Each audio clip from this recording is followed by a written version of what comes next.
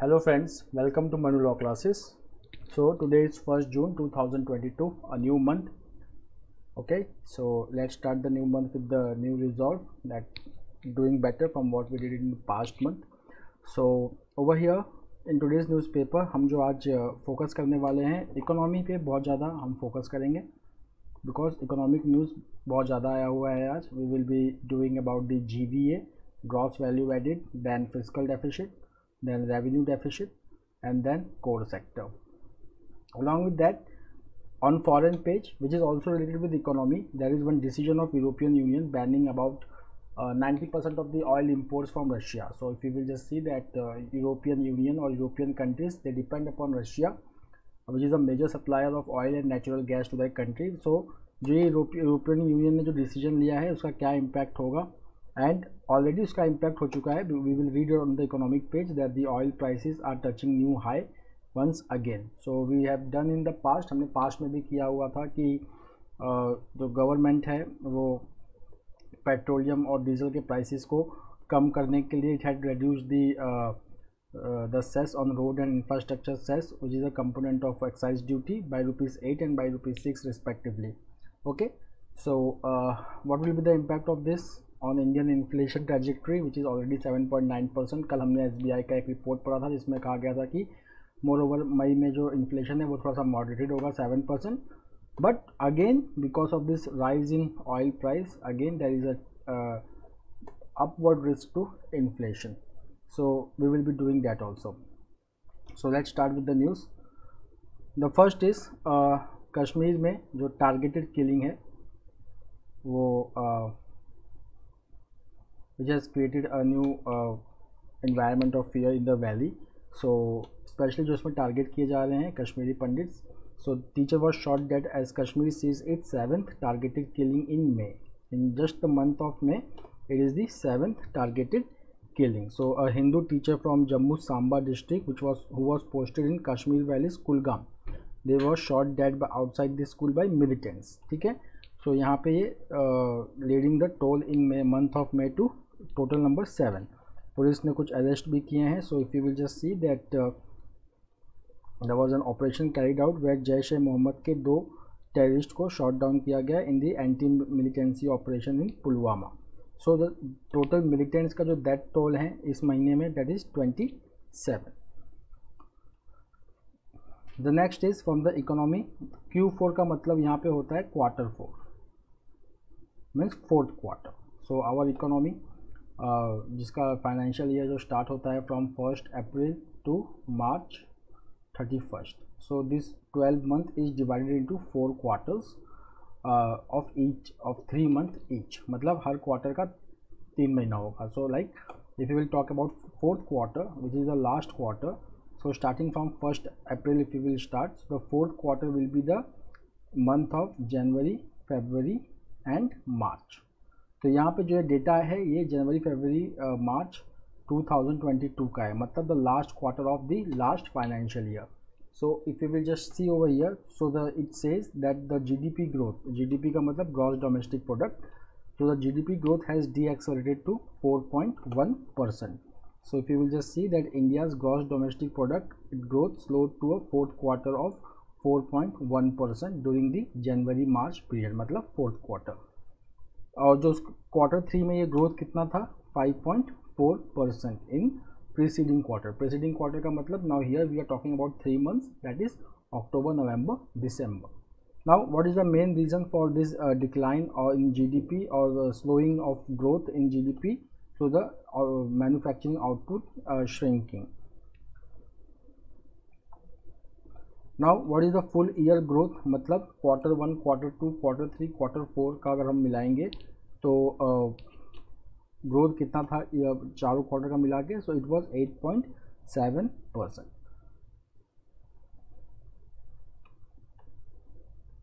the next is uh, this paragraph which is important for our analysis it says the content contact dependent and employment intensive uh, sectors like uh, hotels transport communication and services related to broadcasting sector they continue to languish matlab कि these sectors are still struggling the growth revival in this sector is still below the pre pandemic level pre pandemic level मतलब 2019-20 में जो level देखा गया था उससे कम है कितना around 11.3 percent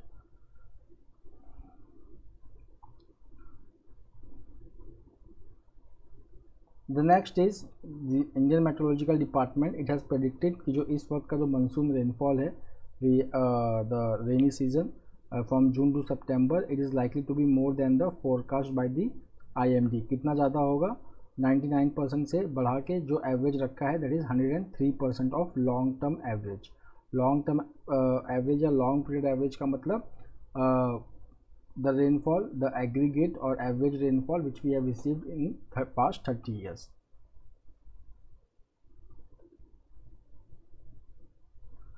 The second is that the monsoon rainfall in central india southern peninsula northeast india and northwest india is going to be plentiful. Especially central india southern peninsula they are expected to get 106 percent of their historical average Then in northeast and northwest India, the rainfall is likely to be normal. The next is Rajya Sabha elections to be a thriller. तो यहाँ पे राज्यसभा अगर हम देखेंगे सो अगर if you will just see our parliament so parliament has two houses Rajya Sabha and Lok Sabha so here Rajya Sabha is also called as upper house yeah council of states. Okay? So the maximum strength of uh, Rajya Sabha is 250 and out of that 12 members are nominated by the president. Currently the strength of Rajya Sabha is 245 so for how many states the Rajya Sabha election is going to take place so for 15 states so there are 57 seats which are spread across 15 states which will be filled in this round of election मतलब जो अभी राज्यसभा में election होने वाला है the crucial point is कि uh, अगर हम लोकसभा का इलेक्शन देखें if you talk about the Lok Sabha election so Lok Sabha election we already know that members of Lok Sabha they are directly elected by the people but in the case of Rajya Sabha the members are indirectly elected. So in Rajya Sabha uh, every state legislative assembly they elect the members for Rajya Sabha. Then the next thing about Rajya Sabha is that Lok Sabha is subject to dissolution but Rajya Sabha it is the permanent house. Okay? So after every two years one third member of Rajya Sabha retire and the new one third members are elected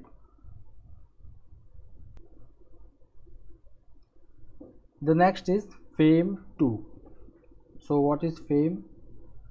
so let's have the background of fame 2 so fame 1 and fame 2 तो सबसे पहले fame का हम full form देखेंगे so FAME it is the government's effort to promote electric vehicles in India. So the full form is faster adoption and manufacturing of hybrid and electric vehicles. Okay okay, इसका जो total outlay है it is rupees ten thousand crore and this plan was approve in two thousand nineteen FAME two अगर हम देखेंगे phase one so phase one it was launch in two thousand fifteen and the total outlay was rupees eight ninety five now if you will just see over here that the fame 2 has got a two year extension in June 2021 तो अब ये of pandemic uh, this program was extended by another two years और this article it focuses on that कि अगर fame का अगर हम देखेंगे तो फेम की कैटेगरीज हैं। For example if you will just see that there is aim to support ten lakh e two wheelers five lakh e three wheelers fifty five thousand e four wheeler passenger cars and seven thousand e buses उसके बाद अगर if you see today's figure तीन साल के बाद भी अगर हम देखेंगे तो ये जो नंबर्स हैं, हम ये अचीव नहीं कर पा रहे but that is one silver lining in all this that is the dominance of e three wheeler so if you will just see that three wheeler electric vehicles like e autos and e rickshaws they are currently accounting for close to sixty five percent of all the electronic vehicles which have been registered in India उसके बाद अगर हम two wheelers की बात करें so they constitute thirty percent and passenger four-wheeler EVs at just 2.5 percent. So, यहाँ पे the article is focusing that the success मतलब जो थ्री व्हीलर्स का जो इतना ज़्यादा रजिस्ट्रेशन बढ़ा हुआ है so if you just see over here that the success India has experienced in the e three wheeler space has come from developing both the demand and supply sides okay यहाँ पर अगर हम देखेंगे तो there are subsidies tax exemption and interest free loans okay which has increase the demand for this vehicles उसके बाद this vehicles they also provide for inexpensive means of transport for variance and are easy to maintain and have relatively low operating cost which makes them popular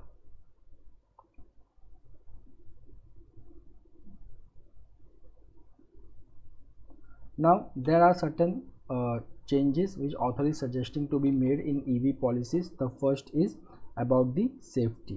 so uh, local manufacturing uh, enterprises they lack the necessary resources or motivation to invest in design development which focuses on safety. So we need to focus over here. That is future policies they must therefore incorporate appropriate design and passenger safety standards. The next is currently agar hum manufacturing supply chain dekhein uh, ev vehicles ka so they are fragmented okay so it is a fragmented manufacturing industry and there is no uniform standards so the next target is that uh, we have to uh, remove this fragmentation of manufacturing of uh, electro uh, EV vehicles in India.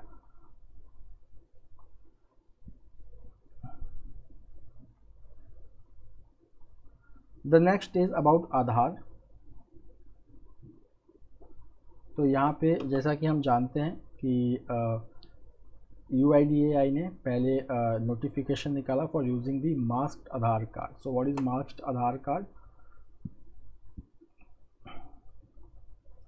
March Aadhaar card में क्या होता है कि the twelve digit में से last four digit same रहेंगे आपके Aadhaar number की तरह. जो पहला एट डिजिट है it will be some different number okay so it has been uh, the, so earlier the order says that using of mass Aadhaar card is essential to protect the sensitive data. But now that uh, notification was uh, taken back by the authority citing that there is a possibility of misinterpretation of the press release. Now what did this says? Uh, the UIDAI advisory it said earlier that instead of using conventional photocopy, जैसे कि हम दुकानों पे जाते हैं SIM card खरीदने जाते हैं, कहीं भी हमसे आधार का फोटोकॉपी मांगा जाता है सो हम क्या करते हैं कि जो हमारा ओरिजिनल आधार है, उसका फ़ोटो कॉपी हम दे देते हैं। Okay so here the authority first set that the marked Aadhaar card where first eight digits of the twelve digit ID okay is replaced with different numbers okay so that has, that has to be uh, used for such things using the marked Aadhaar card. Now let's come to the Aadhaar what the Aadhaar law says. So देखिए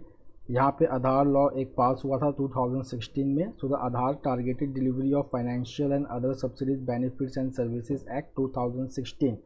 ये एकदम clearly कहता है कि आधार authentication necessary है किसी भी person के लिए if they want subsidies benefits and services that are funded from the Consolidated Fund of India. But if there is no Aadhaar, the individual is to be offered an alternate and viable means of identification to ensure that that person is not derived, deprived of the government schemes benefit. Now, if you will just see that Aadhaar, it has been also been described as a preferred KYC that is know your customer document, but it is not mandatory for opening the bank account. Now see what is the process over here the next is that कोई भी agency जिसको individual का Aadhaar data चाहिए they need to obtain the consent of the individual before collecting his or her identity okay and then they have to ensure that the information is used for only authentic authentication purposes on the central identities data repository ये repository का है क्या है जहाँ पे सारे biometric data collect करके रखे जाते हैं। So if you can just see over here is a centralize data base which contains all Aadhaar number and holders corresponding demographic मतलब एज रिलेटेड और biometric information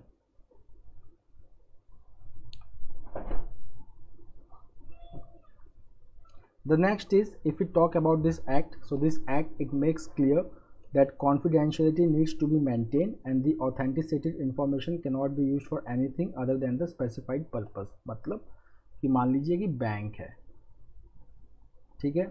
बैंक ने आपसे के के लिए आधार डॉक्यूमेंट मांगा so now the bank can use this Aadhaar only for K Y C not for other purpose the second is कि जो भी आधार इंफॉर्मेशन बैंक ऑप्टेन करेगा through K Y C purpose that has to maintain the confidentiality it can not be publish अब हम आते हैं सबसे problematic part पे। नाउ अगर हम National Payment Corporation of India का डेटा देखें तो कम से कम 6.48 करोड़ वर्थ का फाइनेंशियल फ्रॉड हुआ था by using the Aadhaar card ठीक है ना?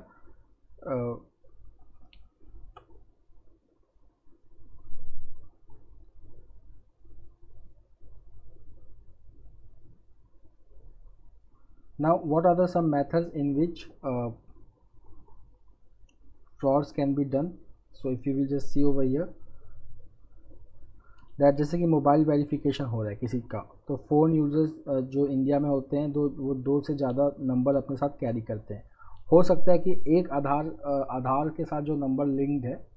ठीक है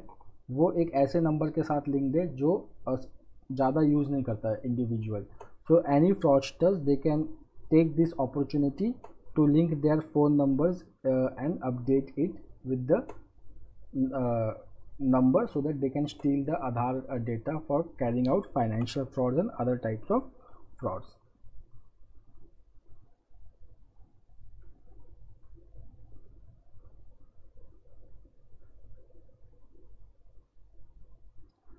Now looking at the UN report on Taliban regime so if we just uh, know that on in August 2021 Taliban took the control of Afghanistan okay and one of the fear which has now come true according to this report is that uh, Afghanistan has become a safe shelter for many terrorist organizations so if you will just see over here so there is a report uh, from the analytical support and sanctions monitoring team of the united nations security council which says that foreign terrorist organization they continue to enjoy safe haven under the new taliban regime. Okay?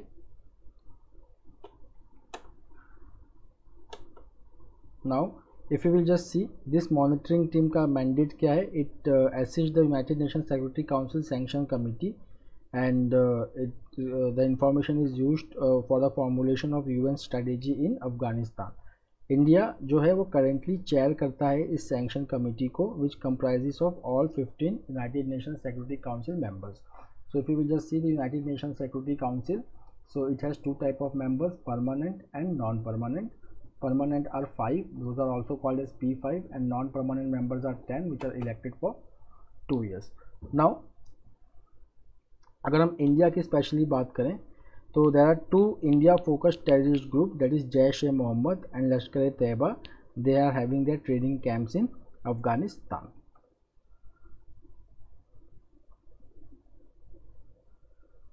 the The next is that Al Qaeda in Indian subcontinent, they have 180 to 400 fighters alone in Afghanistan.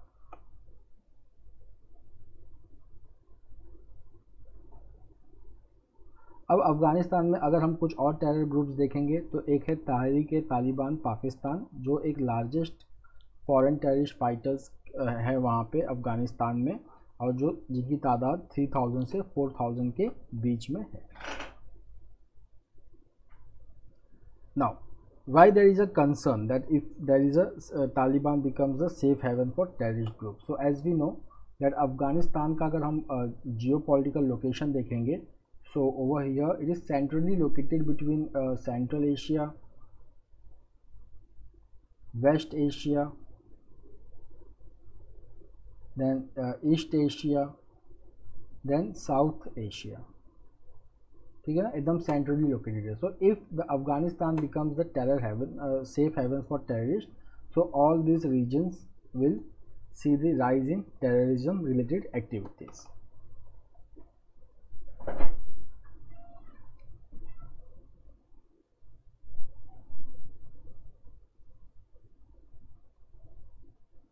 The next is indus water talks held on cordial terms. So there is one treaty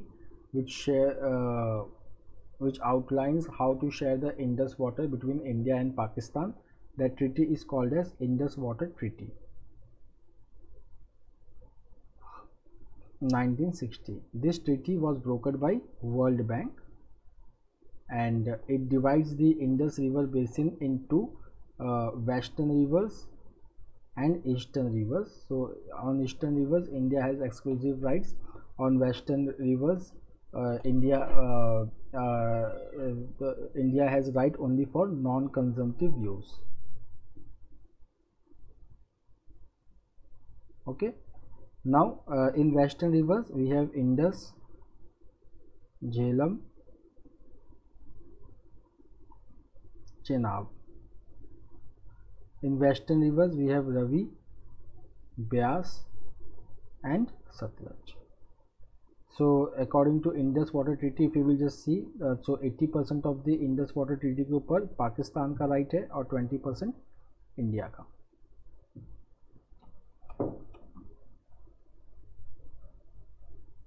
The next is some factual informations over here. So the 18th meeting of the Permanent Indus Commission took place in Delhi on May 30 and 31. Okay, and uh,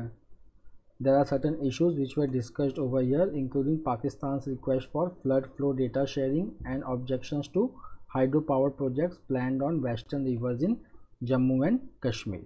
Okay okay, अब यहाँ पर अगर हम देखेंगे कि अगर जो Indus water treaty में जो इंडियन uh, डेलीगेशन है so there are six member delegation on both the sides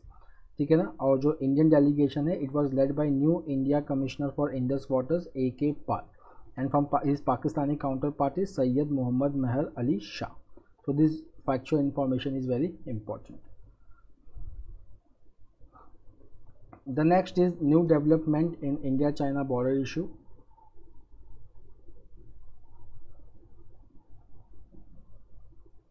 okay so we already know fifteen 15 round of talks has taken place and currently uh, the focus is on patrolling point 15 which is also called as hot spring. So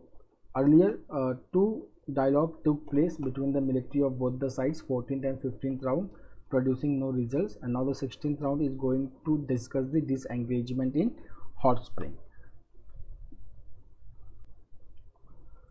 the next the next is, a ministry brings out guidelines to manage monkeypox cases. So, monkeypox.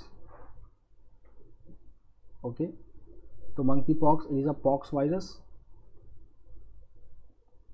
second thing is it is D N A virus ठीक है? So अगर हम COVID nineteen से इसको अगर compare करेंगे तो Covid nineteen it is an R N A virus ठीक है ना? जिनके अंदर रेप्लीकेशन बहुत जल्दी होता है. और दैट्स वाई इनकी ट्रांसमिशन भी बहुत हाई होती है। Monkey pox since is D N A virus replication इतना जल्दी होता नहीं है but so it is different from corona so for treating monkey pox the vaccine which was developed for small pox it is being use now the union ministry of home affairs the union ministry of health and family welfare it has come out with the guidelines on the management of uh, monkey pox disease तो monkey pox disease अभी 19 countries में बहुत ज़्यादा havoc मचा के रखा हुआ है। ठीक है? स्पेशली उसमें अगर हम देखेंगे तो यूके पोर्तुगल स्पेन ये सारे कंट्रीज़ आ रहे हैं। So monkey pox it is a viral zoonotic disease zoonotic disease मतलब जिनका जो जो वायरस का जो होस्ट है, वो एक एनिमल्स एनिमल होता है। And has symptoms similar to small pox now if you will just see the natural reservoir of monkeypox so over here The natural reservoir of the uh, virus is yet unknown, but the ministry has said certain rodents, which includes rope squirrels, tree squirrels, Gambian pouched rat, dormice, and non-human primates, they are known to be naturally susceptible to the virus. अब ये जो incubation period है monkey pox का वो six से thirteen days का चलता है but five to twenty one days भी हो सकता है based on the how fast the disease is spreading now the next is uh,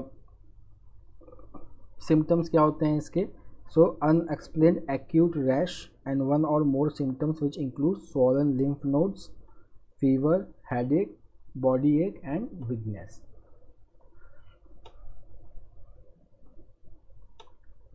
the next is the guideline. It focuses on uh, monitoring at least daily for the onset of signs or symptoms for a period of 21 days from the last contact. The next is focus on surveillance and rapid identification of new cases. Now there are certain products which should be avoided like products which have been derived from wild animals from africa. It should be avoided travelers they should not refrain from close contact with sick people including those with skin or genital uh, lesions. Then contact with dead or live wild animals such as small mammals which includes rodents and non-human primates like monkeys and apes and also eating or preparing meat from wild game that is bushmeat the next is gallantry awards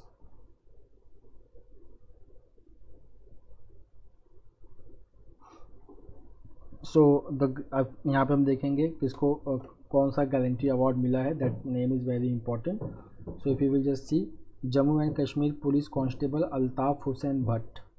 उनको मिला है Kirti Chakra. Then group captain Varun Singh of Indian air force he has been awarded Shaurya Chakra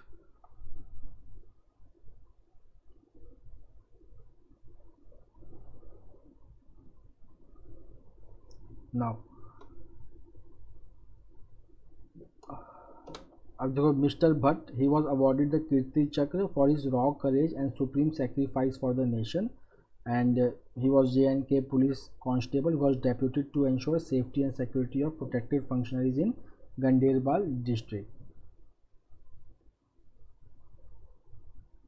The next is uh, group captain uh,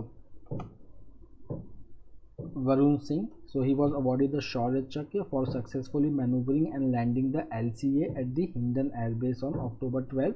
2020 despite developing the major technical snag.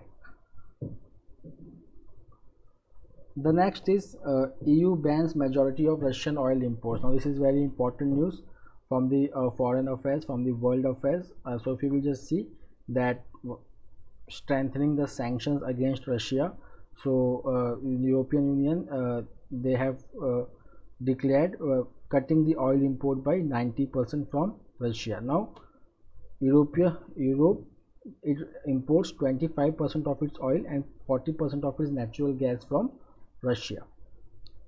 So eu leaders they have agreed to cut around 90 percent of all russian oil imports over the next six months. That is very important over here. This number is very important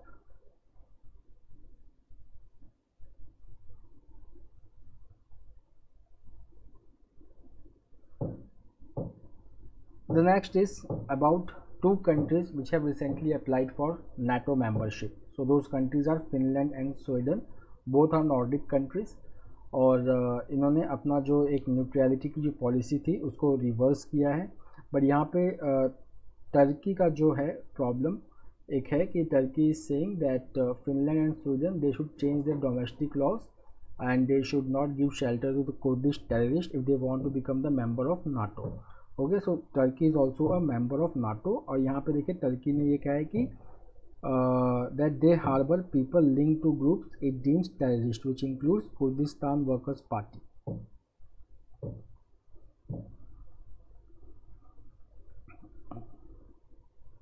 The next is Israel signs UAE free trade deal, its first in Arab world. So Israel has signed a free trade agreement with United Arab Emirates. India has also signed a United Arab uh, free trade uh, uh, agreement with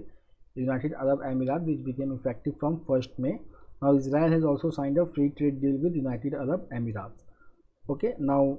over here, if you will just see the the two-way trade deal uh, between the two countries, it totaled dollar 900 million dollars according to the Israeli figures. इसका background है Abraham accord which was signed in 2020 so abraham accord it established diplomatic relationship between uh, israel and uae and since then they are improving their economic partnership now they uh, four countries they have formed a new quad which is also called as new economic quad okay okay, इसमें कौन कौन है इसमें obviously पहले तो UAE and Israel है उसके बाद यूएसए एंड इंडिया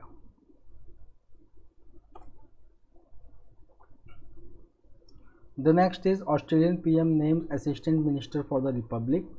तो अगर हम यहाँ पे देखेंगे कि recently Anthony Albanese has become the prime minister of Australia earlier the prime minister was Scott Morrison and now uh, he has expanded his cabinet and he has included assistant minister for the republic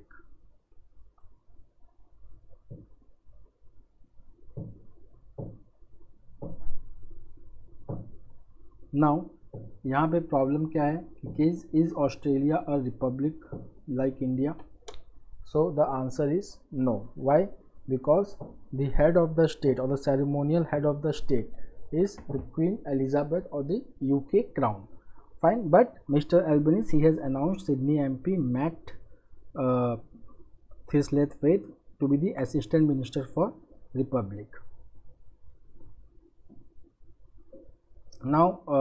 ये जो party से आते हैं Australia के labour party से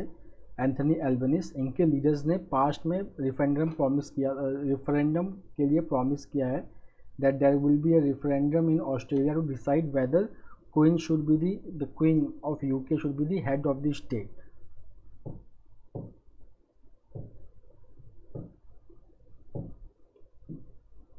Last time in 1999, if you will just see that Australians they narrowly voted against becoming a republic following this agreement over the proposal that Queen's replacement would be chosen by members of parliament, not the public almost 55 percent of the voters oppose the move तो ये जो Australia में जो कहानी है कि whether they should be republic or not so it is since 1999 if you will remember that earlier Barbados became the country Which came out of the Commonwealth मतलब कि वहाँ पे भी बारबोडस में भी the head of the state was the queen of England but they voted against it and now Barbados is the republic.